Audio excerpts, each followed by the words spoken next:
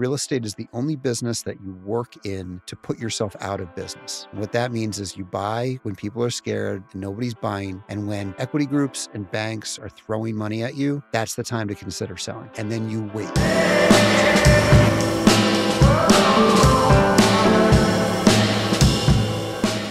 We've never done a guest interview, but if we are going to do one guest interview, I'm super excited about this one. Gideon Pfeffer, uh, someone who it's kind of a funny story. When, when did you speak at the Birmingham event? When I guess gosh, it had been a, a few years ago at least. Years. We were at this. My wife and I went to this real estate. What what was it? It was the uh, Michigan Multifamily Owners Association. Yeah, yes. Annual it, annual meeting or something. Yes, yeah. yes. And it was right down the road from here. My wife and I, I think we only own a couple houses there, so it kind of felt like imposters. You know, we're like, well, whatever. We'll buy tickets. We'll go. Big brokerage put it on. They used to be called something else, but they're GREA now. Yeah. They're like sponsors, I think, or something. Yeah, GREA, yeah, yeah. But we're there, and I come from the fitness industry. So I'm kind of used to like fitness conferences, everyone like high energy and all like a lot of fit people. Real estate, it's a little bit Not of a so different much. vibe. A little, little, bit of a different vibe. There was like mashed potatoes and chicken, you know. um, but they had this panel at the end, and you know, I, I really felt out of place. Really felt kind of like an imposter. Maybe you felt this way too if you've ever gone to an event. But it's really important to put yourself out there. I'm so glad we did go there because they did a panel at the end, and Gideon was on the panel. I'm like, I resonate more with this guy than anyone else. He about our age group, you know, there's a lot of older people there, fit, in shape, looks like he like owns his business, is very, very successful. I reached out on, on LinkedIn and we've formed a friendship and really someone I view as like a mentor now and someone who's accomplished so much in syndication. We get a lot of questions about, hey, I want to start investing in real estate and start building a portfolio, but maybe I don't have all the capital I need to invest in myself. So that's why we have Gideon here. So Gideon, thank you so much for taking the time to be here, man. Yeah, man. I'm so happy to be here. I'm looking forward to it. Yeah, yeah. So for those maybe Gideon who don't even understand or know what a syndication is, can you break down what what is a syndication? Kind of like how you got started with it and why that's been your business model with building your success? Syndication or syndicating money is essentially like you hear about using other people's money to maybe buy real estate if you're following Tony. And that's what a syndication is. It means that either I have the money and I don't want to use all of my own money, or I, I don't have the money, but I find a great deal or great property I want to buy. And so I go out and I find people who want to be involved in real estate, but don't necessarily want to do the day to day operation of it. And I get them to believe in me and my business plan and my operation. And I say, hey, let's partner on this deal. You bring the money and I'll run the business and uh, and we'll both make money together. And so that's like from a very simple standpoint, that's syndication. So like you said, it's OPM, other people's money. Yep. So essentially you're still taking on debt on the property, but you are collectively bringing together a group of partners or group of investors for the down payment. That's right. Correct. And the bank is cool with that. They're, they understand that they're accepting. It's a little bit different than have you seen the whole like I borrow private money for like the down payment? It's a bit different than that because they kind of like they frown on that. Syndications though, they're very they almost like expect larger properties to be syndicated. It's very correct? it's very typical. Yes. And and a syndication essentially would, is that you create an, an LLC to buy the property and there's various structures, but in, in a very simple way, everybody that contributes capital gets a percentage of that entity that then buys the property. So the bank looks at everybody as investors limited in their decision making and then typically myself or you, if you're thinking about doing it, would be, you know, the, the, decision makers and the people that the bank are looking for, for, you know, experience, track record, and things like that. Now, having said that, you don't necessarily have to have an overwhelming amount of experience. So when I start, got started in multifamily, I had a lot of single family experience and had a business already. However, I'd never bought a multifamily property before. And so even though I had done a few thousand houses, the bank still said, you know, what experience do you have? So wow. what I what I did was I partnered up with a property management company that had 15,000 units under management that looked like the building that I was buying. And I said, I might not own anything right now. I've got some property experience, but look who my property management partner is. And I say partner, I mean just the, the, the, company that I was hiring, right? So I stood on their shoulders also. And that's such a good point that getting started, like you started with single family. Yeah. But I mean, you did thousands of units in single family. I did. Yeah. So yeah. we're not ta- we're not talking about like what my wife and I did, bought like a couple duplexes here, like at scale, single family, yeah. right? That's so interesting to hear, even with your wealth of experience, that they were still like, well, what's your multifamily experience? Yeah. And that's something we try to educate our viewers and listeners on is multifamily is you're buying a business. It's business debt, it's business loan, it's pro forma, it's NOI, it's projections. Single family is different. So it's really interesting how you, you know, even you went through that. Cause I went with that same thing. We use property management as that experience. For those just to kind of know the perspective we're talking about here, how many assets do you have currently under management, whether it's dollar amount, total units? Like right now, we've got about 6,300 units. The value's little over a billion dollars of real estate. That's with a B, guys. With a B. That's with a yeah. B. Yeah. yeah. But you know what? I, my yeah. first my first property I bought was 64 units. You know, yeah, a couple yeah. million bucks. It's Mount Clemens, correct? Mount Clemens. Yeah. So, guys, like just again, perspective here, and this is what it's like so important to go out, put yourself in environments where you are either the smallest, slowest. I hate to say like dumbest person in the room. Like my wife and I, I don't even know if we own multifamily at the time. We went to a meetup or a, an event where there are multifamily operators, and now I'm literally sitting across the table from someone who controls controls a billion dollars in assets. And my wife and I own 131 units, maybe 16, 17 million. Like, if you're not around these types of people, it's like you're not fulfilling your fullest potential. And something else I will say too about like Gideon's like how I truly knew he was so successful, super giving, super giving, loving guy. I've like offered to pay multiple times for meetups and advice and uh, wisdom and stuff like that. So super impressive. So, okay, if I want to start syndicating, so, like, let's say I'm listening to this, I'm like, I'm inspired. I'm inspired by Tony, Gideon, Nick. I want to start syndicating. What would be like a roadmap or a blueprint to follow for someone who controls 6,000 units? Like, how do I get started? If I don't have maybe much money myself, much experience, do, do I have to have a business first? Do I have to have some level of like success first? Or can I literally just be like, I'm broke, I'm staying at home, I'm watching this YouTube video, I want to get started? I mean, I think anything's possible, right? I think anything's possible. I think that it's easier when you have a little bit of experience. Like I said, anything's possible. So, the roadmap is I need to find a deal that seems to make sense. A deal meaning a property that I believe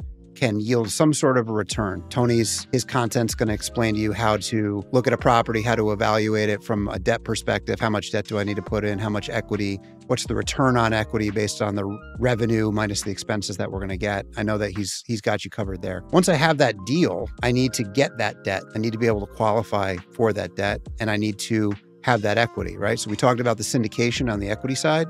So that's raising enough money, having enough money or raising it from outside partners to fulfill that piece of the puzzle. Then there's the debt side. With multifamily, most of the time, you're going to need a net worth that's equal to, at least equal to the amount of the loan amount. And you're going to need a liquidity amount, meaning money in the bank, cash in the bank, that's equal to usually around 10% of the loan amount. I didn't necessarily have that. I mean, I had made a lot of money, but I wanted to buy 100 units. I want I, my first property was 64, my next was 300, my next was 407, and I didn't have a balance sheet you know, for tens of millions of dollars. So what did I do? Again, I stood on other people's shoulders. I partnered up with a high net worth individual that I had a relationship with that had faith in me that I could perform when we found these deals. And then I partnered up with another person who had a stable and following of investors. So I was the guy that found the deals and ran the deals. I had a balance sheet partner for the debt. I had another partner that had a stable of, of investors that he brought along. And that's how we bought our first three deals together through that system.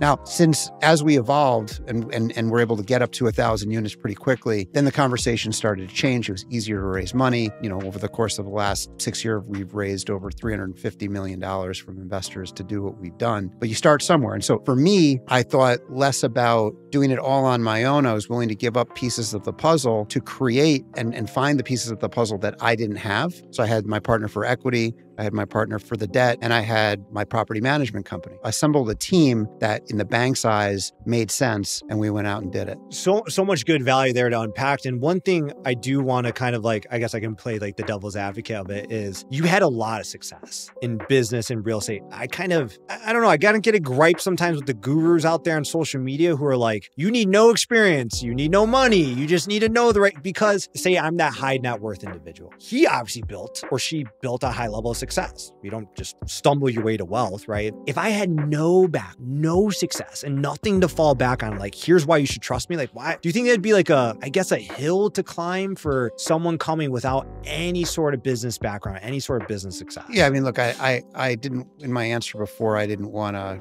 cut anybody out, sure. right? Uh, and that's why I gave that, you know, political answer of I think that anything's uh, mm-hmm. possible. Truth be told, you know, how do you get people comfortable to give you money? I think that if you're truly interested in getting into this business, into this lifestyle, you know, it, it doesn't happen overnight. It takes time. You know, I, I it took me a full 12 years prior to buying my first apartment building to buy my first house and sell that house and then buy more houses and go through mistake after mistake after mistake. Luckily, success, you know, the successes outweighed the mistakes. But to get that experience that allowed for the guy with the balance sheet to trust me, and the guy with the investors to trust me, the bank to trust me. You need to get off your couch. You need to take action. That action could look a lot of different ways. It could be through education, it could be getting a job at a property management company, getting a job at a construction company, getting a job at a real estate investment company, learning the business and just getting some experience under your belt, a few years of experience under your belt. Not only do you get the experience, but you get the contacts. Bingo. You know, you'll learn, pe- you'll you'll meet people in the industry and hopefully um, create relationships that'll serve you in the future. Everything takes time. I, I was able to raise all that money in a short period of time, but when you look at the over overall course of my career, it's been 25 years in the making. I was just able to capitalize over the prior experiences. Well, it's like what they say, like the band, right? Because Nick's a musician. So it's like, oh, they were a overnight success, but you didn't see that band playing for three people for 10 years and traveling around in their RV, right? It's like the old iceberg analogy. We only see the tip of the iceberg. And that's where it's like, you know, social media is such a powerful thing, but it also tries to capitalize on people's desire of viewing real estate as this vehicle of like get rich quick, right? Like, hey, I don't need, I don't need money, I don't need experience, I don't need any of that. I think that's a big thing too that you even started to allude and deep dive into is like multifamily is a business. You yeah, know, it's a business that comes with a lot. So let's talk a little bit about you mentioned, and this is something my wife and I are starting to discover since we built our portfolio with all of our own capital. Sounds cool, but there's a lot of want to say like negatives that come along with that because if something goes wrong in that property, we're solely on the hook. When it comes time to sign on that debt, I'm solely on the hook. What's the difference when you are leveraging outside capital? Are you raising for reserves for a property? Like if an expense happens and the property can't support it, how is that covered? Just wonder some insights for syndication, just kind of like, I guess, taking all the pressure off the owner and the operator. So I think that, I don't know if it's completely possible to take all of the pressure sure, off of the operator. And what I learned through trial and error is that having extra reserves as you're raising money is super important. So you might be buying a property for a million bucks, let's say. You're going to get debt for for 650,000. So, so obviously you need to come up with 350,000 of equity. That's not actually the case. You probably need to come up with $500,000, right, of equity if you're if if you need 350 to bridge the gap. And what's that other 150,000 for? Well, you're going to have to pay closing costs on the deal. You're going to have to pay property taxes in advance. You're going to have to pay for a year of insurance in advance. There's a lot of detail like that. And then I always like to your point, Tony, I always love to have operating reserves. Operating reserves for that rainy day. Oftentimes you're buying a property and you need to fix it up. Like Tony shows on his on on his other clips, right? And all the properties that he owns, he's elevating to create more revenue to make the property more valuable. Well, that costs money too. So you have to go into these properties understanding what it looks like on paper to buy it, but how much really is it going to cost to fulfill your business plan, right? Tony says that this is a business. It is. Every single property that I own is like its own business, right? So I'm sitting on top of 20 different large communities, but 20 different businesses and business plans and budgets to review and to and to manage. That's exactly correct. Every property is its own business, and like you said, it's not just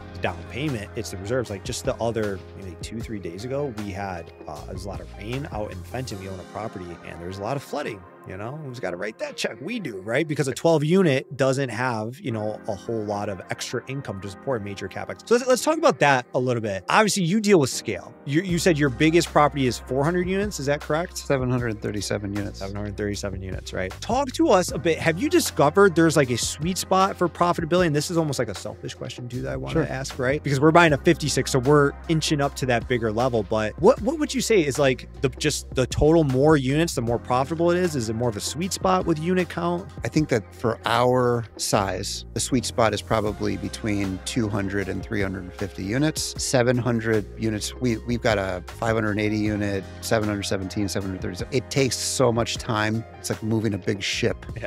right? And so you want to move, you know, 1% of occupancy, you know, you got to fill up seven units. You want to fill up 10% of occupancy, you got to fill up 70 units, a lot of units to fill, right? Right. 200 makes more sense to us. I think that 50 units, it's all relative, right? Yep. If you're used to managing 16 units, 20 using units, 15 is going to be a bigger lift, a heavier lift, more intensive management, more people to speak to, everything. Right. right? When it comes to operations, you're still using third party management, correct? Yeah. You know, we've learned so much of it it is in the operations, right? Yeah. So your role is more of what we'd call like an asset manager, right? Sure. You're managing the asset and you're managing the manager. Yeah. You know, we've heard, eh, because we've been in masterminds and all that, we've heard, especially with the last year with the rise in interest rates and the rise in insurance costs and all that, that third party has been more and more difficult. How are you guys being so successful with third party? And would you ever bring operations in house and build out your own property management company? You know, I think that property management is challenging, whether you're doing it on your own or with a third party. There's there's definitely inherent issues with third party management and the level of scrutiny and management that you have to have over this third party property management is is super intense. I went away, I stayed away from self management because I just we were building the the property business. We were, we had a construction company. I it was too much to deal with. I think that it's in our future as we grow our unit count. And I think that like you said in, in today's market environment, I think those who are self managing are probably doing better better from at least from an expense perspective than those that are not. Like you said, there's pros and cons to it.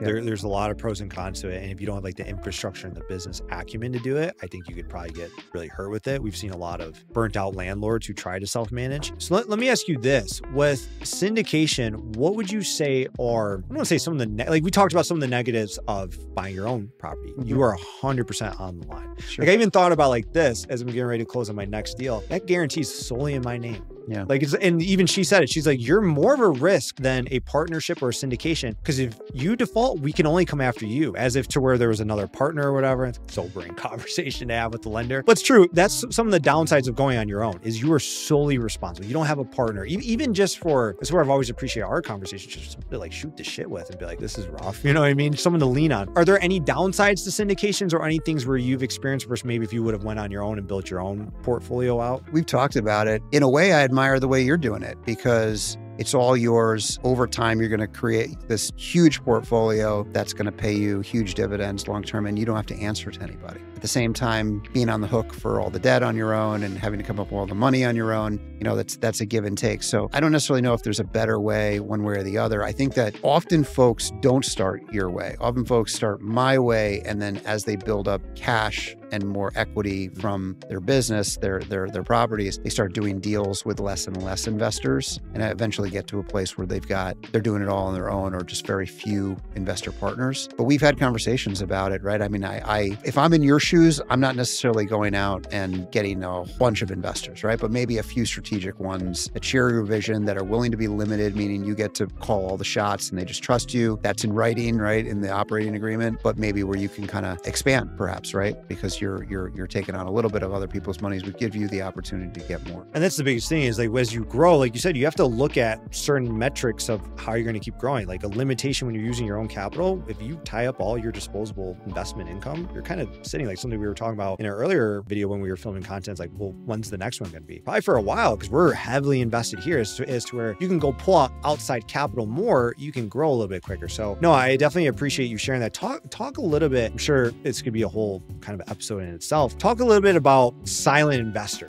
like these investors that are coming with you, are they like calling you up every day and like, hey man, how's how's the portfolio doing or how's the investment doing? Or like, hey Gideon, I think we should paint it blue, not not white. Like, how, no, how do you control that? No and like, how do you structure the deal to where you're in control of the asset? Because you're you are the expert. Yeah, I mean, I think that setting clear expectations with investors up front about what it means to be an investor with me is important. I have to be proactive in my communication so people aren't left guessing. For us, for our company, we're sending monthly reports on just what's going on at the property along with pictures. And then we're doing kind of a thorough quarterly report that has financials and variances to budget, positive and negative, and being very transparent. This year, I've added uh, doing webinars for all of my properties. So nice. people can listen or they can watch live, they can listen or watch after the fact. I've got the port, then I've got the webinar. More communication is better, unless the investor doesn't have to open up the email if they don't want. But the truth is that my cell phone is on my email and everybody has access to me. And the more accessible I make myself, the more respected I think that I am. At the same time, in terms of my time, right? People call me, they're like, I appreciate it it. I know you're busy. I just have a question. But that also builds trust of being available. Somebody calls me up and says, I don't like the paint. I'd say, I appreciate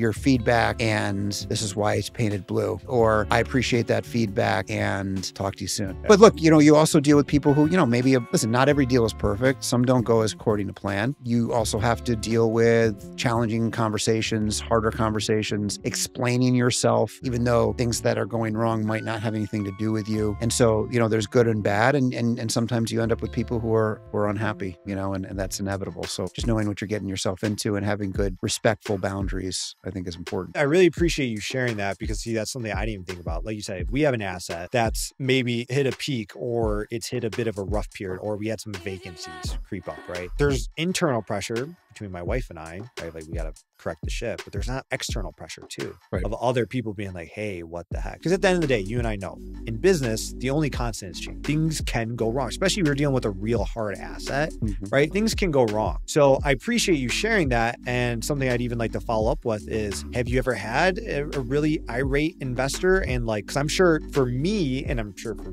people watching and listening, that's got to be a limiting factor of wanting to get into syndication is what if people get mad? What if, God forbid, I lost of property? Like someone we uh, are close with is Robert Martinez down in Houston, and the, the, real deal just did a whole article. He had to give a property back. Yeah. First time in his career of 20, 25 years. Yeah. Uh, he invested a lot of his own money to try to right the ship. It was, to his explanation, third party management, and then the variable rate they were on couldn't improve the NOI, and the lender called no, and they had to uh, default. Not only losing your own money, but losing other people's money. How do you deal with the pressure of raising other people's capital? Yeah. Right. And the expectation that, like, you and I get it because we're in it, but maybe someone who's never owned property, they're like, what do you mean there's vacant? What do you mean they didn't pay their rent? Right. How do you handle? You got to be grounded and you got to know what you're walking into. Having difficult conversations with anybody, investors, let alone investors, is hard. If I'm doing everything that I can do, if my team is doing everything that we can do, and we know that, and external factors like the market changes, interest rates going up 500 basis points in a year, things that are outside of our control, all we can do is communicate that to investors. We've got a couple deals that we bought on Bridge at the end of 2021, early 2022 that are in somewhat precarious positions. We've got great relationships with our lenders, more like partners with our lenders as it relates to when times like these are challenging. So I'm I'm optimistic that we'll be able to kick the can and wait for better days. But it's stressful and, you know, again, transparency, being in front of it. If an investor is upset, same thing as if uh, somebody I care about is upset. I do my best to listen, not be defensive, be empathetic, mirror what they're saying,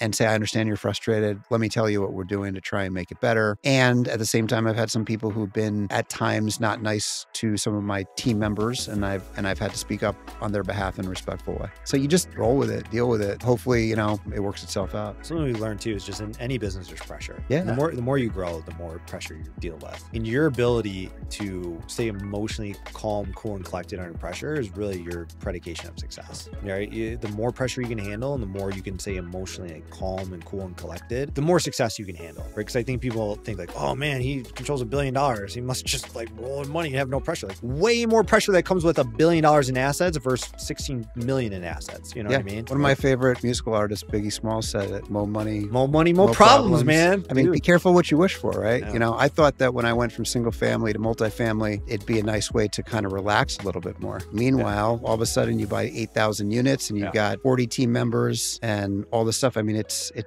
it's a lot of work, you know.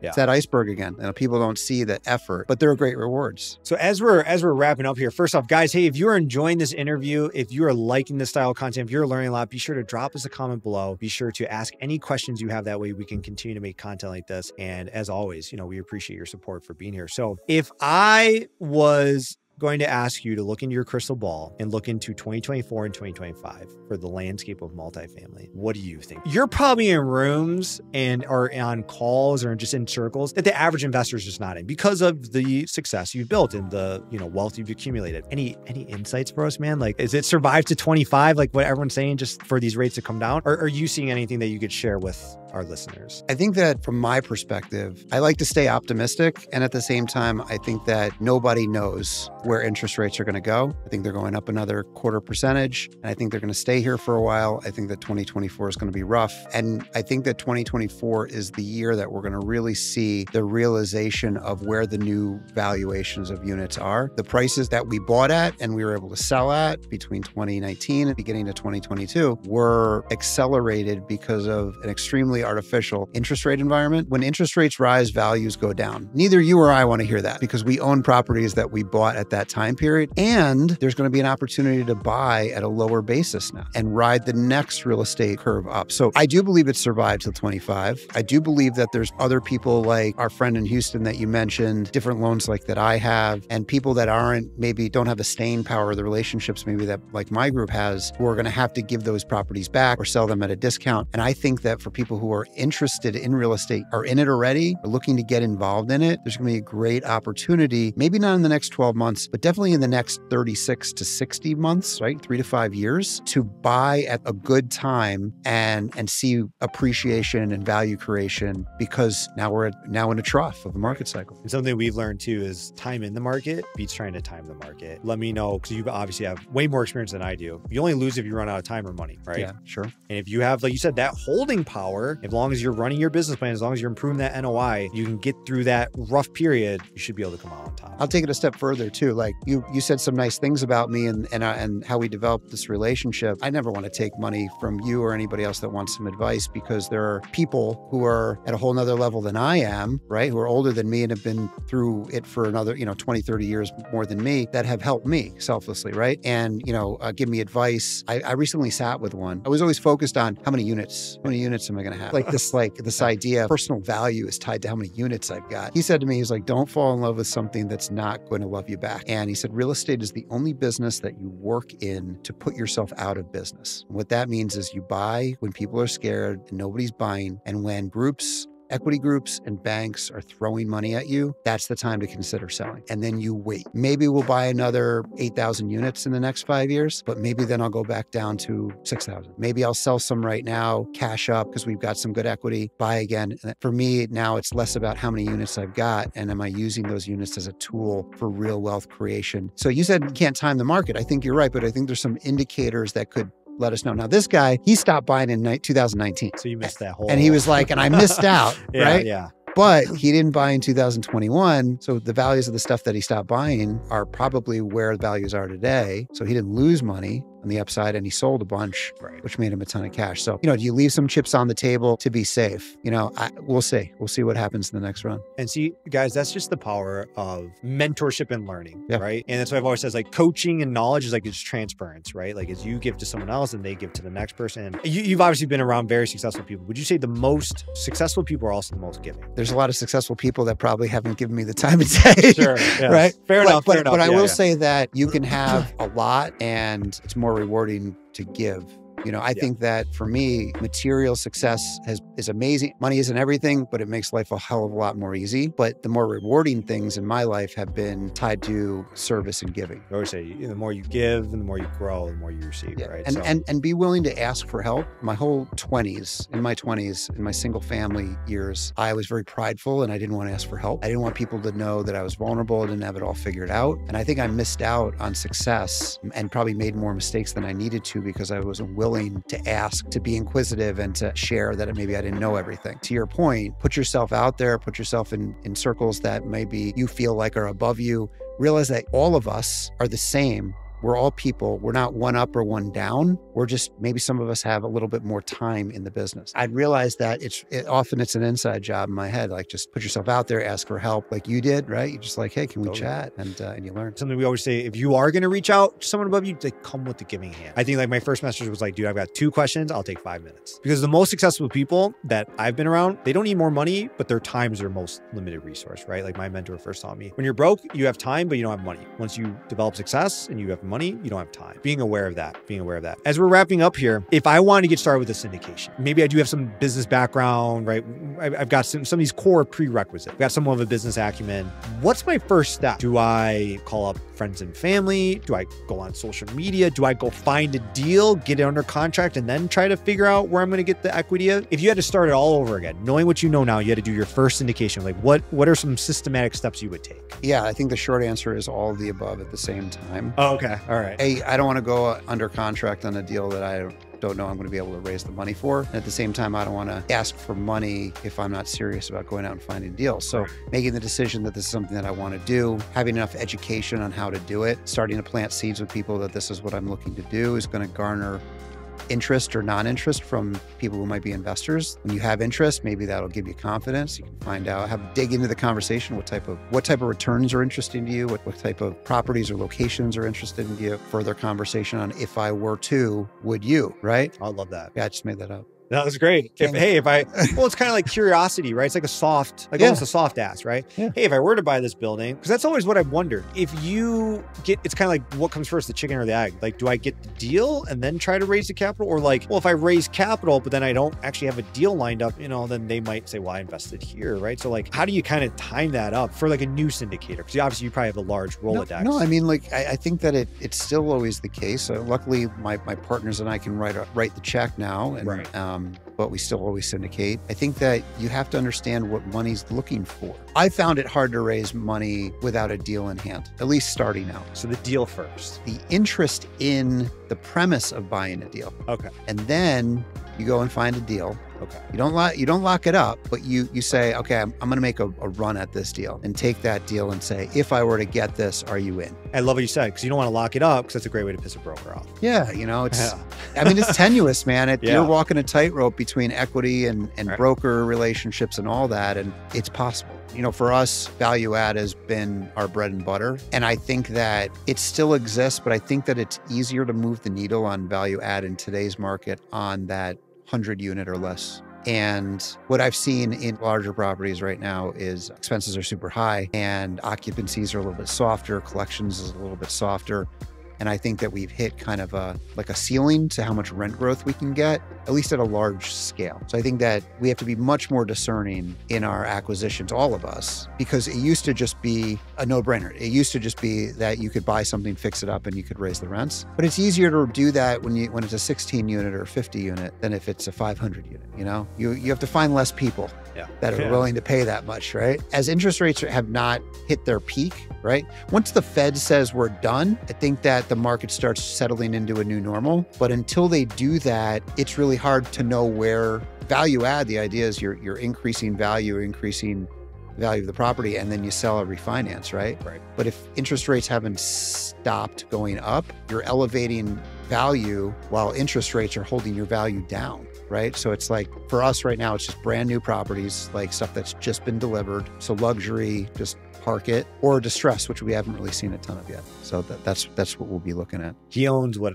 I want to get to, like down the line, because Class A luxury build way different than Class C. But you can move the needle quicker in Class C. That's where a lot of value creation is in a short period of time. Is it true everyone starts in Class C and works their way up, or do some people come right in just like I'm only buying Class A? I don't think so. Question. I don't yeah. think that's true. Yeah. I don't think everyone starts in Class C, but I actually it, it makes sense though that people who are bootstrapping it and figuring yep. it out, like yep. you did and like I did, yep. are starting in Class C because that's where the cheaper properties at. Correct. I didn't grow up with the trust fund. Right. So like I couldn't, or like a family business in real estate. Maybe my children, if they choose to want to work with me, can go right into Class A. Yeah, yeah. I, they'll be pretty, uh, yeah. pretty, pretty skyrocketing. I hope for their sake they yeah. go cl- right into Class A. Well, Gideon, this has been so informative. Again, I knew if we were going to do one interview, this would have to be the interview we do. So for those who are just super interested in this, we want to hear more about you, your story, what you're accomplishing, your your business, all those great things. Where should they go to find out more? Go to uh, gshrealestate.com. Gshrealestate Shoot us uh, an email, fill out a form if you're interested in learning more. Love to have a chat. Word on the street is there's a TikTok account